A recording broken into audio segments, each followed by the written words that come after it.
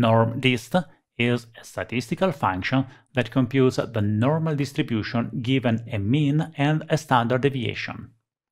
You need to provide to NormDist the value for which you want to run the function, and then the two arguments mean and standard deviation that define the shape of the distribution. The fourth argument, cumulative, uh, decides whether you want uh, the value for that value only, so the function executed for that value only, or the cumulative value up to that given value. You also have norm S dist that assumes a mean of 0 and a standard deviation of 1. It is useful to look at how mean and standard deviation change the shape of the distribution. If you look at this chart, right now I'm showing a, a, the normal distribution with a mean of 5 and a standard deviation of 2. Changing the value of the mean changes the position of the peak of our distribution, whereas changing the standard deviation changes the width of the distribution. In the example, I create a table containing some sample data, then I compute both the mean and the standard deviation that I will pass then to norm to NormDist in order to compute the values.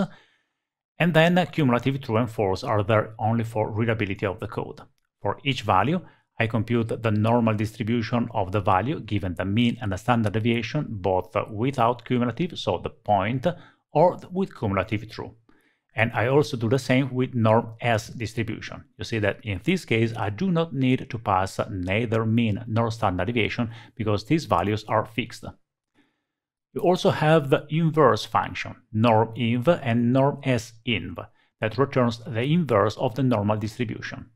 And in this example, I'm uh, computing percentage from uh, 0 to 0.5 to 0, 0.99 with 5% of step, and for each percentage, I compute the value and then the inverse of the normal distribution by calling norminv with the value and mean and standard deviation.